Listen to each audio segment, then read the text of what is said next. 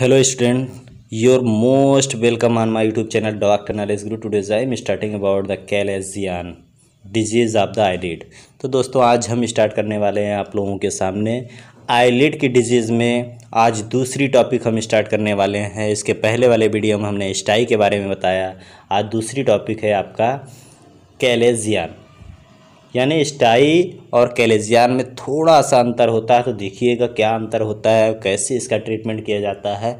तो बहुत ही बेहद ख़ास है, आपको समझने वाली बात है।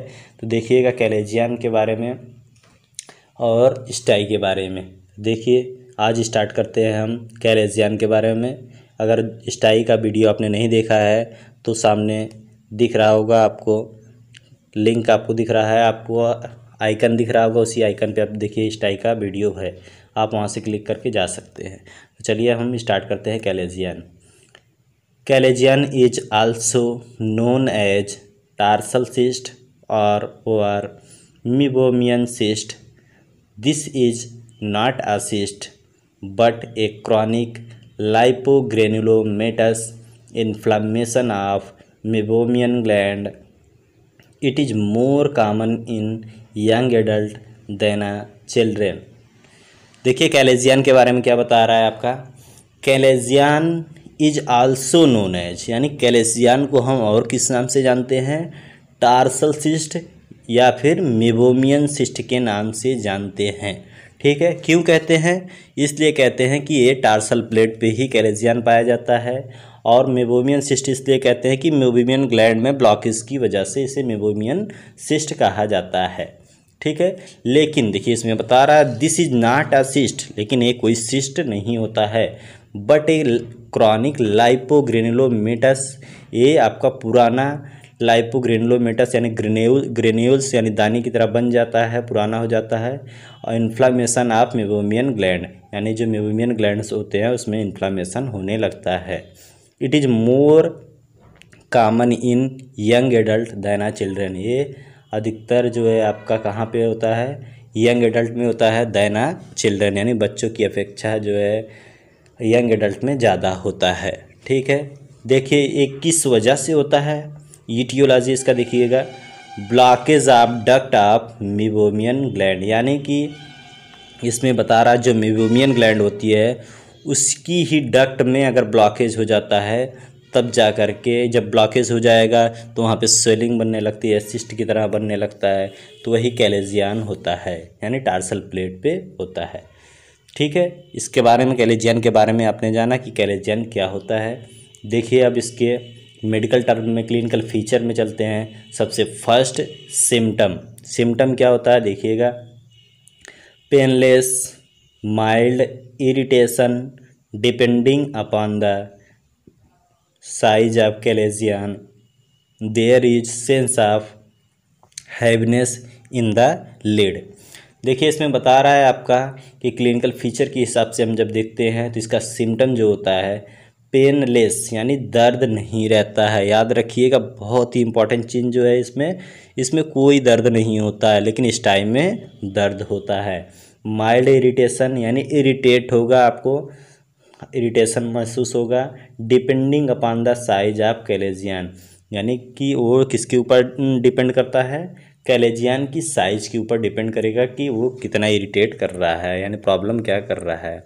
There is sense of heaviness in the lid यहाँ पे भी आपका हैवीनेस बना रहेगा, यानी कि लिड में जो है, क्योंकि उसमें भी स्वेलिंग है, इसमें भी स्वेलिंग है। इस टाइम में भी स्वेलिंग पाया जाता है, इसमें भी स्वेलिंग है। तो दोनों में स्वेलिंग की वजह से हैवीनेस महसूस होता है। ठीक है? चलिए, अब हम देखते हैं साइन क्या बता रहा है इसका। यानी साइन के हिसाब से हम देखेंगे खुद से। तो क्या दिखता है हमें? देखिएगा, इसमें बता रहा है आपका।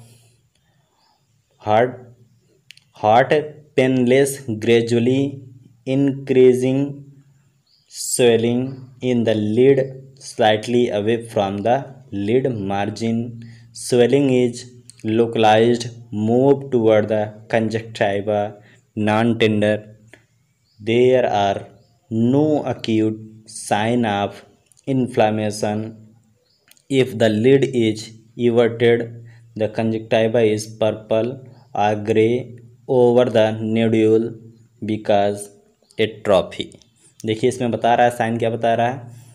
हार्ड पेनलेस, यानी इसमें हार्ड आपका पूरा रहेगा हार्ड रहेगा, ये हार्ड इसमें भी बना रहेगा, पेनलेस, यानी पेन नहीं होगा, ग्रेजुअली इंक्रीजिंग यानी धीरे धीरे इंक्रीज होता है स्वेलिंग यानी स्वेलिंग आपका धीरे धीरे से बढ़ता चला जाएगा लीड में slightly away from the lid margin ये कहाँ पे होता है लीड मार्जिन से थोड़ा सा दूर होता है, और स्टाई जो है लीड मार्जिन पर ही होता है, ये थोड़ा सा दूर होता है। Swelling is localised move toward the conjunctiva non tender और स्वेलिंग जो है लोकलाइज्ड यानी स्वेलिंग जो है धीरे धीरे किधर मूव करती है? कंजक्टाइवा की तरफ़, जो दर्द नहीं होता नॉन टेंडर होता है। ठीक है? There are no acute sign of inflammation यानी इसमें किसी भी प्रकार का कोई साइन नहीं मिलता है। किसका? इन्फ्लामेशन का कोई भी साइन नहीं मिलता है। ठीक है? इफ़ द इसमें आगे बता रहा है if the lid is everted यदि हम आई आईलिड को क्या करेंगे? इवर्टेड यानी पलटेंगे, यानी उलट, उलटेंगे। The conjunctiva is purple or grey over the यानी कि जो कंजक्टाइवा हमारा कैसा दिखाएगा? पर्पल या ग्रे कलर का दिखाई देगा, अगर कंजक्टाइवा रहेगा तब। Over the nodule because atrophy यानी जो नोड्यूल्स की तरह भी दिखाई देगा, क्योंकि एट्राफी यानी कमी की वजह से ऐसा होता है। ठीक है, ये साइन थे हमारे कैलेजियन के सिम्टम और साइन चलिए मेन आपका क्या होता है ट्रीटमेंट देखते हैं, उसका इलाज कैसे करते हैं। Mainly surgical treatment specially if large chalazion incision and curettage from conjunctival side vertical incision is given to avoid cutting of other gland ठीक है? इसमें बता रहा है मेनली सर्जिकल ट्रीटमेंट इसका जो ट्रीटमेंट होता है, आपका अगर कैलेजियन हो गया है तो आपकी सर्जरी से ही सही होगा। यानी मेनली इसका सर्जिकल ट्रीटमेंट ही होता है। स्पेशली इफ़ लार्ज कैलेजियन यानी ज़्यादातर जो है, अगर बड़ा कैलेजियन है, तभी जा कर के हम इसमें क्या करेंगे? सर्जरी सर्जरी करेंगे इसका। कैसे करते हैं? इंसीजन एंड क्यूरिटेज इंसीजन मतलब चीरा लगाएँगे एंड क्यूरिटेज का मतलब उससे बाहर निकालेंगे, जो भी मटेरियल उसमें से है, उसको बाहर निकालेंगे। फ्राम कंजक्टाइबल साइड और इंसीजन कहाँ लगाएँगे? कंजक्टाइबल साइड ना कि ऊपर से। ऊपर से कभी नहीं लगाना है, क्योंकि डिसफिगरमेंट भी होगा और वहाँ से लगा नहीं सकते। अंदर की तरफ़ से लगाएँगे हम कंजक्टाइबल साइड से। और वो भी इंसीजन कैसे लगाना है इसमें? वर्टिकल इंसीजन इज़ गिवन और वर्टिकल इंसीजन ही लगाना है। To avoid cutting of other gland यानी कि अदर ग्लैंड को अवॉइड करेंगे, ठीक है? यानी कि और भी कोई ग्लैंड ना कट पाए, इसीलिए हम वर्टिकल इंसीजन लगाएँगे। इसीलिए इसकी सर्जरी जो मेन होती है इंसीजन एंड आपका क्यूरिटेज होती है, ठीक है? कोई पूछेगा कैलेजियन की मेन ट्रीटमेंट क्या होता है तो आप बताएँगे इंसीजन एंड क्यूरिटेज ही होता है। लेकिन साथ में उसके पहले हम चला सकते हैं क्या? जैसे उसमें स्टाई का आपने ट्रीटमेंट देखा था। पस पॉइंटिंग का वाला ऑप्शन छोड़ के, बाकी आप वीडियो देख लीजिएगा, उसमें बताएगा आपको जैसा रहेगा। ठीक है? चलिए एक बार हम रिपीट भी कर दे रहे हैं आपको। इसमें हम करेंगे क्या? हार्ट फर्मेंटेशन देंगे। Antibiotics eye drops and ointment are applied to control and prevent the infection. Systemic antibiotics are given if swelling is large. देखिए, इसमें यही बता रहा है, जैसे इस टाइम हमने बताया था कि अगर स्टार्टिंग फ़ेज़ है तो हार्ट फर्मेंटेशन यानी कि गर्म सिकैया के द्वारा उसको उसी पे सबसाइड कर देंगे। और एंटीबायोटिक्स आई ड्राप्स और आइंटमेंट इसलिए चलाएँगे जिससे आपका इन्फेक्शन को कंट्रोल इन यानी इन्फेक्शंस ना बनने पाए, उसको हम कंट्रोल करेंगे। सिस्टमेटिक एंटीबायोटिक इसलिए चलाएँगे जिससे आपका स्वेलिंग ख़त्म हो जाए। ठीक है, इस तरह से हम कैलेजियन का भी ट्रीटमेंट करते हैं। लेकिन मेनली आपका जो होता है वो सर्जरी ही होता है। ठीक है, इस तरह से हम कैलेजियन का ट्रीटमेंट करते हैं। तो दोस्तों, आज का भी टॉपिक आपका कैलेजियन समाप्त हुआ है। मिलते हैं आईलिड की डिज़ीज़ में न्यू टॉपिक के साथ आप लोगों के सामने अगले दिन। आज के लिए इतना ही। थैंक यू कोई प्रॉब्लम